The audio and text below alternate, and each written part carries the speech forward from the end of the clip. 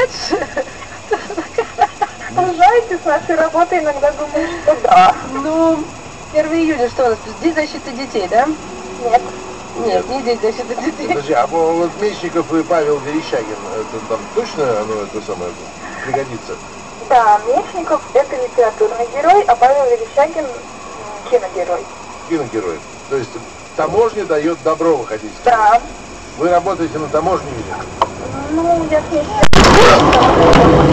Может, не работает. А 1 июня у вас профессиональный проект. А 1 июня это бизнес-компания.